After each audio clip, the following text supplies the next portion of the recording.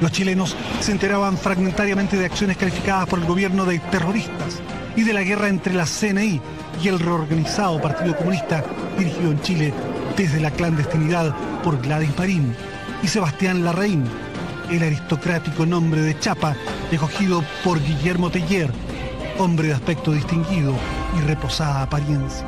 Yo me hice cargo de la política militar del partido, me da la impresión que por el año 82. Después del golpe, jóvenes chilenos se adiestraron como guerrilleros en centros cubanos como Punto Cero. Algunos combatieron después en Angola, Nicaragua y El Salvador, pero su objetivo final era Chile. Aprendí lo, lo fundamental para poder volver. Entrenada en Cuba, las pistolas y granadas no tuvieron secretos para Nancy Solís. Llegué como una militante político-militar. Muchachos que estudiaron medicina en La Habana ingresaron después del golpe a academias castristas graduándose como oficiales. Que muchos de nosotros fuimos formados. En La Habana, con recursos y eficiencia de una moderna multinacional, los comunistas se ponen de acuerdo con cubanos y europeos orientales para conseguir pertrechos. Montan en Chile una verdadera agencia para la salida y entrada de chilenos y un taller para elaborar documentación falsa. Castro designa al general Alejandro Ronda, jefe de las tropas especiales, para que participe en la parte cubana de la misión. Aunque comprometido con sus amigos, Fidel vaciló antes de enviar las armas a Chile. Abelardo Moya Toro, Claudio Molina Donoso, Alfredo Malbrich y Orlando Bahamondes coordinarán en Chile el desembarco, ocultamiento y distribución de las armas. Recorren el litoral chileno buscando lugares apropiados para el desembarque. Finalmente centran su atención en la zona comprendida entre Caldera por el norte y La Serena por el sur, área vasta, con escasos pobladores e infinidad de caletas próximas a la carretera panamericana y a minas abandonadas.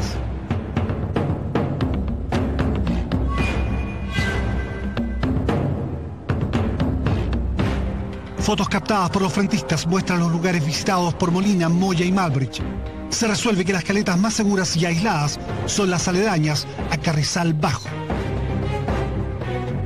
El Rucio Molina buscaba identificar escondites temporales para el arsenal. Las minas reunían una... Los frentistas emplearán la técnica vietnamita para construir los llamados barretines, suerte de refugios clandestinos construidos bajo tierra, impermeabilizados, abovedados y forrados con tablas apernadas serán usados como depósitos de armas, escuelas de guerrillas y hospitales de emergencia. Claves para el desembarco serán Coquimbo, Vallenar, Caldera, Huasco, Carrizal Bajo y las caletas Corrales y La Herradura.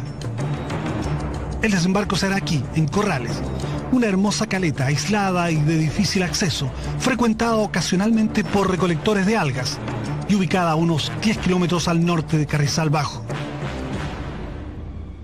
Más de 400 frentistas participarán en la operación comandada por Orlando Bahamondes, conocido como Pedro. En el norte, las actividades del frente serán dirigidas desde una casa arrendada en Vallenar y en el subterráneo de esta propiedad, en Huasco, se construirá un espacioso barretín que servirá para guardar armas e instruir guerrilleros. A unos 50 kilómetros de Vallenar y junto a la carretera donde estaba la posada Árbol de Marañón, se cavará otro refugio para almacenar armamento.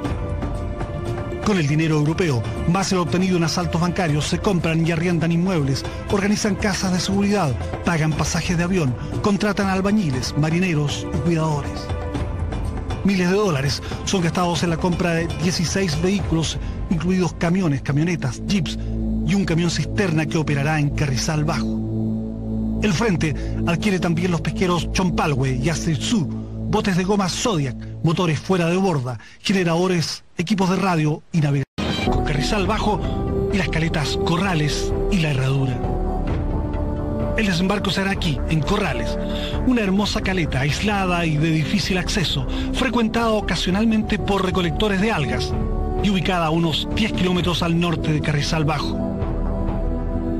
Al sur de Carrizal, en la caleta La Herradura, se establecerá el centro de apoyo para el desembarco, guardándose allí botes, motores fuera de borda y equipamiento marino. En Vallenar se constituyen en octubre de 1985 dos empresas de fachada o leyenda como las llaman los integrantes del Frente Patriótico Manuel Rodríguez. Con permisos en regla, un grupo empieza a operar en la herradura bajo la fachada de Chungungo Limitada, empresa dedicada al cultivo de ostiones. No había ninguna cosa que, que los delatara que no fueran más que cultivadores de ostiones. Se notaban unas personas muy educadas. Con ellos una chica, Vilma, que también tuvo mucho acercamiento con la gente. Ella era muy, muy suavecita, muy, muy encantadora. Dirigida por Bushman, alias El Pelao o Don Ricardo, inicia luego sus actividades en Carrizal la firma Productos del Mar, dedicada a comercializar algas marinas.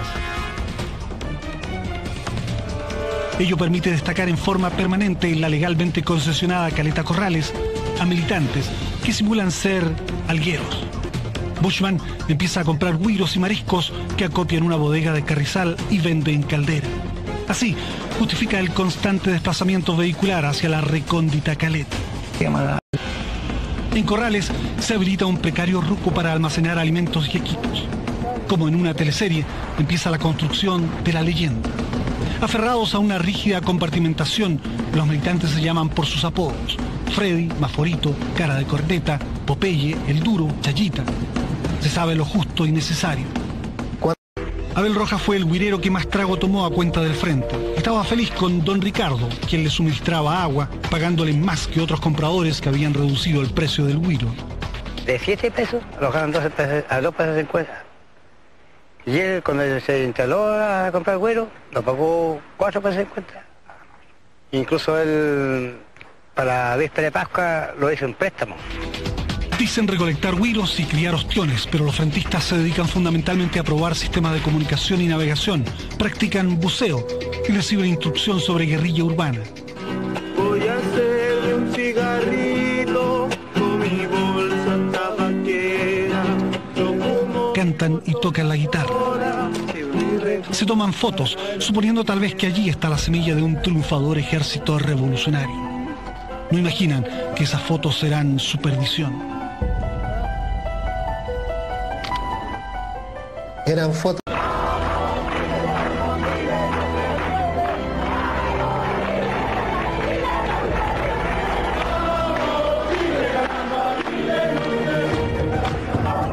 Las protestas pierden fuerza en Santiago. Los partidos demócrata cristiano, socialista y radical empiezan a formar un frente amplio, aunque los rodriguistas siguen mordiendo al régimen con bombas y atentados. Nadie sospecha que la mayor, más audaz e ilegal internación de armas en la historia latinoamericana está en marcha. Fue fácil reclutar tripulaciones de confianza política y el Chompalwe solo pudo tener su dotación completa en octubre del 85. Mario Vega Varas se enroló de buena gana en el pesquero recibiendo instrucción militar en el barretín de Huasco Bajo.